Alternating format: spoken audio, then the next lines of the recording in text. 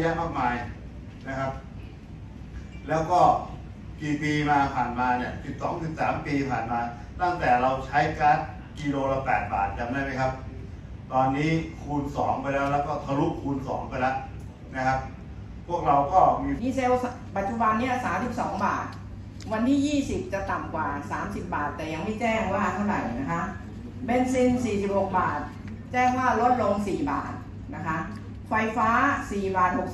68 แจ้งว่า 4 บาท 10ณ1กันยาเลย NTV 18 บาท 59 ขึ้นมาเป็น 19.59 ณ วันนี้ วันนี้เรามีผู้ใช้บริการทั้งหมด 300,000 คัน เรามีสถานีให้บริการ NTV ทั้งหมด 344 สถานี ปัจจุบันนี้ทั้งวงจรเนี่ยเดือดร้อน เนื่องจากราคาก๊าซสูงขึ้น ไม่เป็นไปตามที่ข้อตกลงแต่แรก คือครึ่งหนึ่งของดีเซลเหตุผลที่ต้องเป็นครึ่งหนึ่งของดีเซลก็คือรถใช้ก๊าซเนี่ยมันมีการแมนเทนแนนการซ่อมบำรุงเนี่ยจะสูงกว่ารถดีเซล เป็นต้นเหตุให้พวกเราเนี่ยมาใช้ก๊าซ NGV แต่ปัจจุบันนี้มันไม่เป็นไปตามที่ข้อตกลงที่ให้ใช้ NGV วันนี้เราก็เลยไปร้องเรียนแล้วก็จะให้หอการค้าแล้วก็ประธานสมาพันธ์ขนส่งได้ช่วยเหลือผู้ประกอบการของไม่ใช่ของผมนะครับ แต่ผมผ่านมาก็คือเป็นตัวแทนของออทุกท่านในจังหวัดฉะเชิงเทราเพื่อที่จะเอามาขับเคลื่อนของการค้าจังหวัด ให้ของการค้าจังหวัดเหล่านั้นเนี่ยสามารถเอ่อเดินด้วยปัญหาต่างๆที่เกิดขึ้นพวกเราเนี่ย ช่วยกันพูดช่วยกันคุยได้หมดเสนอนำเสนอได้หมดว่าปัญหาของเราคืออะไรแล้วเนี้ยเราเอามาแก้ไขกันได้ สิ่งหนึ่งที่เราควรจะทำเนี่ยนะครับ ให้เข้มแข็ง แล้วก็แก้ปัญหาต่างๆ ในพื้นที่จังหวัดของเราให้ได้ทั้งหมดนะครับ ถือว่าเป็นภาคเอกชนที่ส่วนราชการเนี่ยให้ความเชื่อถือ อย่างถ้าถ้าเกิดเป็นรัฐบาลนะฮะคือจะแก้ไขปัญหาเศรษฐกิจใดๆก็แล้วแต่ การเป็นผู้กำหนดกฎเกณฑ์ต่างๆ แต่เราค้าขายจะแก้ไขปัญหาใดๆเราก็ต้องดูซิว่าในการแก้ไขปัญหานั้น เราติดปัญหาอะไรที่เราค้าขายไม่ได้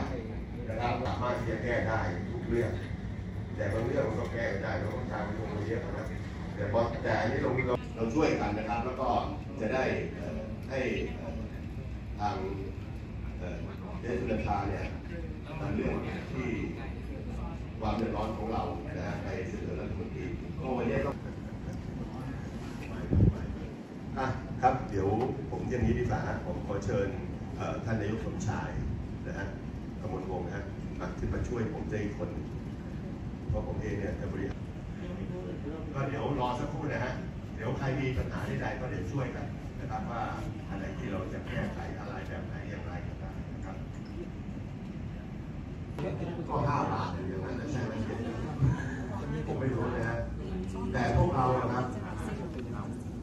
มันขึ้นมาเท่าไหร่เราก็รับผิดชอบ เท่าที่ขึ้นมา โดยที่เรียกว่าไม่มีอะไรที่จะไปแก้ไขตรงนี้ได้รับฟังว่านะครับเมื่อกี้ก็คุยกันทุกที่ทุกที่กันว่านายกรัฐมนตรีไม่รู้จักก๊าซเป็นทีเออก็ก็ไม่ว่ากันนะครับ เพราะว่าท่านจะอาจไม่ได้ทำธุรกิจ แล้วก็เบื้องต้นเลย มันแล้วพวกเราก็ประสบความลำบากนะครับลำบากอะไรครับเรานะครับก็วันนี้ก็ก็ต้องจริงนะครับ ราคากาซขึ้นไปขนาดนี้เนี่ยทำให้ต่อกิโลเนี่ยนะครับ เราน่าจะต่อกิโลเมตรเนี่ยเราน่าจะเป็นน้ำดีกันกับน้ำมันดีเซลละต่อกิโลเมตรนะครับถ้าคิดเป็นเงินออกมาต่อกิโล